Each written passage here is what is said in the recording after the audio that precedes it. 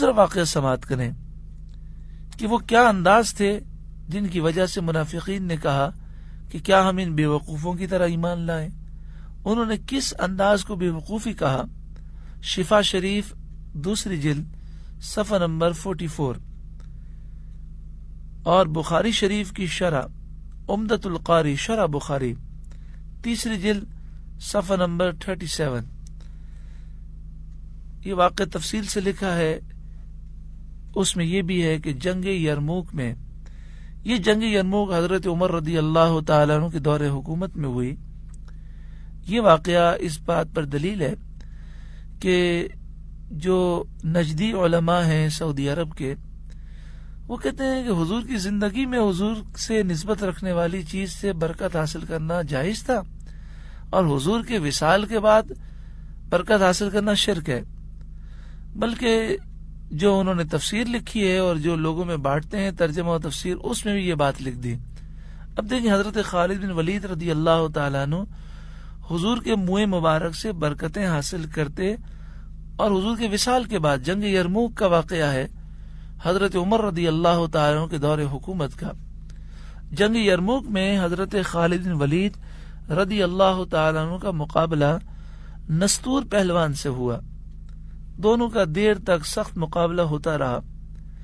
حتیٰ کہ حضرت خالد رضی اللہ تعالیٰ کا گھوڑا ٹھوکر کھا کر گر گیا اور حضرت خالد رضی اللہ تعالیٰ اس کے سر پر آ گئے۔ یعنی وہ آگے کی طرف آ گئے، آگے کی طرف جھک گئے اور ٹوپی زمین پر جا پڑی۔ نستور کافر موقع پا کر آپ کی پشت پر آ گیا، پیچھے آ گیا۔ اس وقت حضرت خالد رضی اللہ تعالیٰ عنہ پکار پکار کر اپنے رفقا سے ساتھیوں سے فرما رکھے تھے کہ میری ٹوپی مجھے دو، اللہ تم پر رحم کرے۔ ایک شخص جو آپ کی قوم بنی مخزوم میں سے تھا، وہ دوڑ کر آیا اور ٹوپی آپ کو دی۔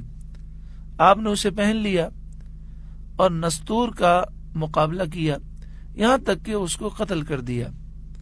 لوگوں نے اس واقعے کے بعد آپ سے پوچھا کہ دشمن تو پشت پر آ پہنچا تھا اور آپ ٹوپی کی فکر کر رہے تھے۔ حالانکہ ٹوپی اتنی قیمتی تو نہ تھی۔ حضرت خالد رضی اللہ تعالی عنہ نے جواب اشاد فرمایا کہ بات اصل یہ ہے کہ اس ٹوپی میں سید عالم نور مجسم صلی اللہ علیہ وسلم کی پیشانی مبارک کے بال مبارک ہیں جو مجھے اپنی جان سے زیادہ محبوب ہیں۔ ہمیں صحابہ کرام کے نقش قدم پر چلنے کا حکم دیا گیا اور صحابہ بال مبارک کی تعظیم کرتے اللہ کا شکر ہے کہ اہل سنت اسی عقیدے پر ہیں، منہ مبارک کی تعظیم اور اس سے برکتیں حاصل کرنے کا طریقہ اہل سنت میں پایا جاتا ہے۔ پھر حضرت خالد ولید رضی اللہ تعالیٰ عنہ کیا فرمانے لگے؟ فرمایا، عمر بھر ہر جنگ میں ان مبارک بالوں کی برکت سے فتح و نصرت حاصل ہوتی رہی۔